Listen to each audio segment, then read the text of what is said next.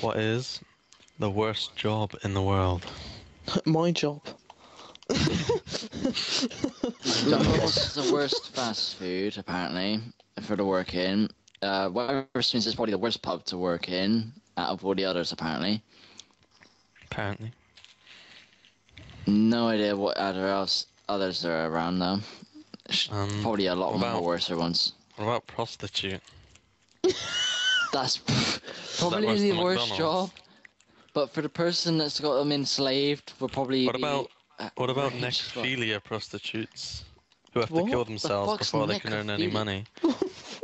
What? Necro- necrophilia, it's like um um like a dead body thing. Oh, fucking. Oh right, you hire a dead. Dead prostitute, yeah. yeah. To be fair, that's that's probably a job I just made up and then not a real one, so, so it doesn't count. Necrophilia. fucking. You get fucking. get put in prison for this shit. They're I've out just been there, TV missiled. Worst What job in the world. Um. Yeah. probably the big issue seller. Sorry. Because everyone takes the piss out of you and it's like, Seller, pick up your big issue. Take your big issue today. I don't know what's going on. Worst job ever. Why is what Because no saying? one, You know no the- one buys the big issue. It's the shittest thing, and it's always tramps are doing it. You know the fucking jobs that they go door to door, like signing you up for all these charity shits, yeah? Oh, um, Jehovah's Witnesses and stuff. is Oh, that it? No, not not that. But like, you know the ones that just do charity work? Like they, they make you Oh, yeah. sign up to the, the charity and all that. Well, I really- basically, they get like nine pound fifty an hour. What? What? That's like, I'm not even joking, right? That's, That's like, like- double that's- my minimum wage. That's triple my. That's triple my wage. What the I get four sixty, so they get nine fifty. Fuck me. Fuck just this! I'm, t- I'm handing in my resignation next week. Fuck it. Fuck them. Fucking nine pound fifty for handing out fucking Yeah. charitable leaflets. Basically, if you were to get one of them to sign up, you'd get paid as well. Not just for the hours that you do, but also for like the actual sign ups. Cunts.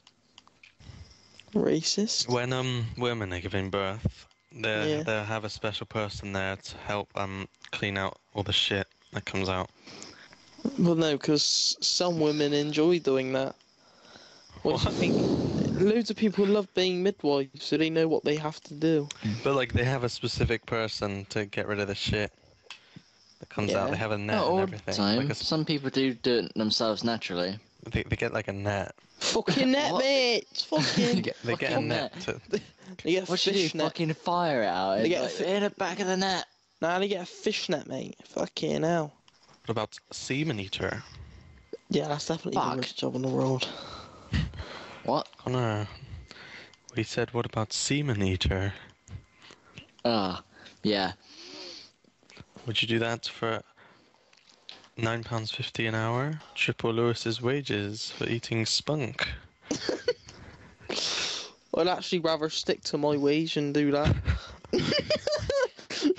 What if it was just, what if it was just a little bit? I still wouldn't do it. But it was like a, a cat's spunk.